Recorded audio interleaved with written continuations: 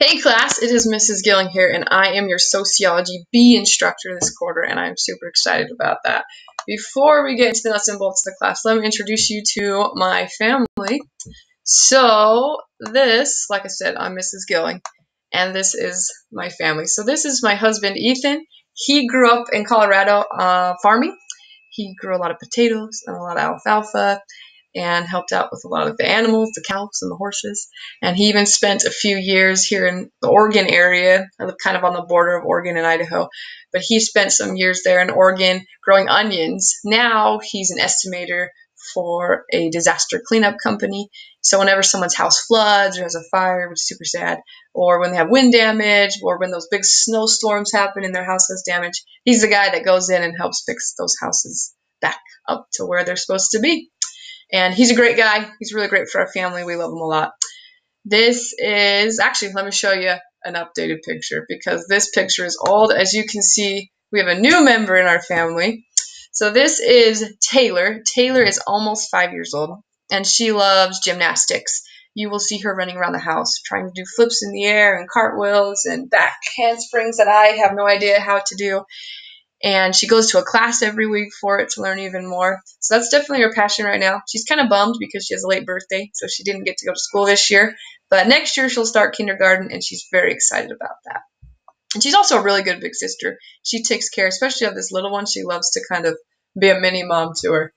This is Skylar. She is almost three, and she's our funniest child, I think. Well, the other day we were we were in the backyard and we were running around, and she goes, "Mama, I can't keep up because I got little yeggs. And then the next day she goes running around the house and she says, Mama, I don't got little yeggs anymore. So pretty much they grew overnight, I guess. But she's a, a really funny kid, a happy kid, and we, we're happy to have her in our family too. And then our newest is Parker. She's almost six months old, and she's the happiest baby I've ever met in my life she wants everyone else to be happy too. So if she wants your attention, she will stare at you and smile until you acknowledge her presence and you smile back. So it's it's pretty fun to, to have Parker around. And like I, I said, I, I am Mrs. Gylling. I graduated about five years ago from BYU. Go Cougars! We're really big BYU football fans, so sorry BSU fans out there. That's, that's where we're at. And I uh, I love teaching. I love social studies. I also love, like I said, watching BYU football, spending time outdoors with my family, we like to go bargain shopping at thrift stores to see what kind of cool stuff we can find. But that's uh, that's a little bit about me and my family. We do have one more person I need to introduce you to, and that is Heidi. She is our standard poodle, and we've also nicknamed her Princess Poodle Pants. I don't know why, because she's really not that princessy. Like she will come up to you and she will burp in your face, which is disgusting, and she is a dog, so it's really weird. But she really loves her sisters and she takes really good care of them. So we'll keep her around. So that's uh, me and my own. Here's a little bit more about your course. So course assignments. First of all, let me move my, my cute face out of your way. The checkpoints are worth 15%. They are found at the end of each lesson and they help you review what you just studied to make sure you understand. You have three attempts on those. So if you take it the first time and you don't get 100%, what do you think you should do? Should you stop? No, take it again. If you don't get it 100% the second time, Use your third attempt. These are about learning. If you're not passing the checkpoints, it means you don't understand the material. So you need either need to go back and read it or you need to reach out to me and ask a few questions, but please don't just stop on that first attempt. Our next thing we have, if it's going to come up, there we go, are discussions. You're probably familiar with these if you've been at iSucceed for a while, but you complete them at the end of each lesson and you that's a little bit old information there i should get rid of that. But the way it works is at the end of each lesson you answer a discussion question. I have a discussion rubric embedded into the course that i want you to review. It goes over the specific details of what i'm looking for. But pretty much answer the question fully and write at least three sentences. If you do that you should get full points on those. If you don't you write at least three sentences. I'm going to leave you a comment that says something like, You're off to a good start, but you need to write at least three sentences Uh, if there's more than one question in, within like each dis- discussion question, so sometimes it'll be like answer these two questions. You can pick one of them if there's more than one on each one. But there are 30 discussion prompts, and I expect you to turn in 30 of those. There may be 29 now I think about. Sometimes the last one doesn't have it, but let's say 30. Whatever's in there, that's what you need to do. If you don't get full points on those discussion prompts, you can do them again. But the way the system's set up is it won't alert me to tell me that you turned in a new discussion post. So if you do choose to make edits to any of your discussion posts, please send me an email or leave me a comment letting me know that you updated it and changed it so that I can grade it. If you don't do that, then I don't know, so you won't get points. So please, please, please, if you ever fix a discussion, let me know. But if you answer all those discussion questions, all 29 or 30 of them, like I said, then you will do great there and do all right. Next, we have exams. At the end of the first five unit, there's a content exam. At the end of unit six, there's a vocabulary exam. You get one attempt on these. I only allow one attempt on exams because there's study guides that I have. And if you're using those study guides, then you should do pretty well on the exams. Historically, in my classes, people that use the study guides do a lot better than people that don't. So if you're reading all the materials, doing the checkpoints, filling out those study guides, studying from them, you'll do really well on the exams. The final exam is at the end of Unit 6, and it covers topics from each of the six units. You get one attempt, so please study hard before taking that, that final exam let's keep going. There's a few more things.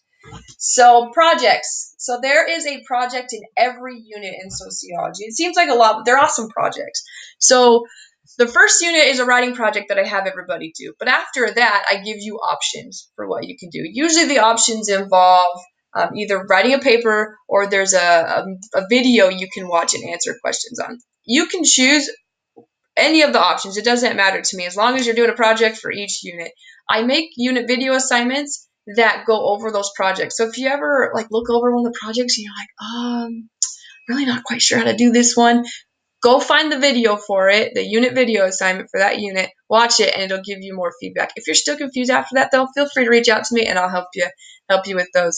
But projects are worth 20%. I do allow though up to three attempts. So if you turn one in and you don't get the grade you want, look over my feedback, fix your mistakes, turn it in again, and I'll, and I'll definitely give you more points there. Next, we have workbooks. If you've been with iSucceed for a while, you definitely know what workbooks are. They're questions that you find throughout each lesson, and they are worth 10%. There's absolutely no reason not to get 100% on these because you get an unlimited number of attempts. So if you get it wrong the first time, what should you do? Do it again. Let's make sure that we're getting 100% on our workbooks.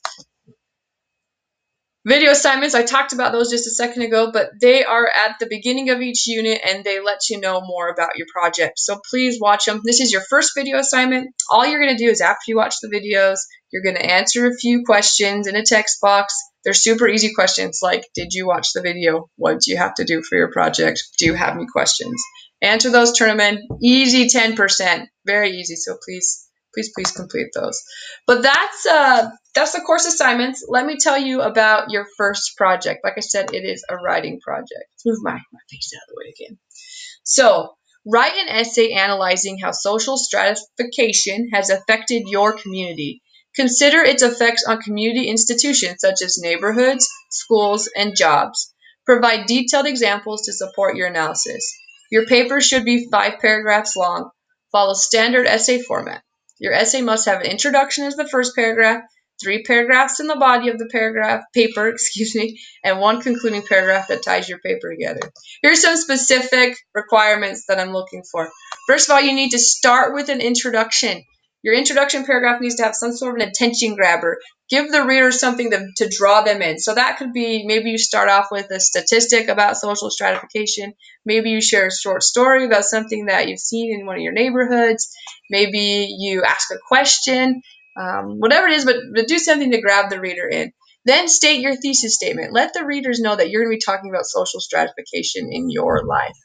Then state your three main points. So your three main points are going to be that you're going to discuss social stratification in your neighborhood, in your school, and in jobs. Your body paragraphs your first paragraph is going to talk about how social stratification affects your neighborhood. And the key word here is your. Don't focus on neighborhoods in general. Think about your neighborhood and how social stratification affects it.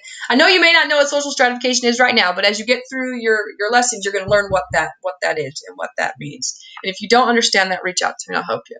But one paragraph about how social stratification affects your specific neighborhood. Then you're going to write a paragraph about how social stratification affects your school. If you can't think of anything for the online school, think about a school that maybe you attended in the past, or think about a school in your neighborhood. But how does it affect your school? And then write a paragraph about how social stratification affects jobs.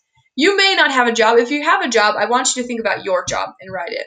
If if you don't have a job though, maybe think about one of your parents' jobs or maybe your grandparents' job or somebody in your neighborhood's job and think about how social stratification affects that job and write a paragraph about it. Then you're going to need to have your conclusion where you restate your thesis statement, remind the reader of your main point, uh, the main point of your essay, and then restate your three main points. And that's it. Correct it for grammar. Make sure you don't have a lot of spelling or, or grammar errors, and then then turn it in. So that's that is your your very first project. If uh, if you need help, reach out to me. I do have office hours on Tuesdays from 11 to 12. I'm also available other times, so if that doesn't work, you know, shoot me an email and, and we can set up a different time. You can also send me a text. You can instant message me. That's a great way to get a hold of me throughout the day. You can call me, whatever works for you. But please, if you do need help, that's what I'm here for. I'd much rather help you than sit and just be like waiting, grading papers all day. So definitely reach out if you need help. But other than that, I uh, I'm excited to be your teacher this quarter, and I'm looking forward to helping you. You guys have a great week.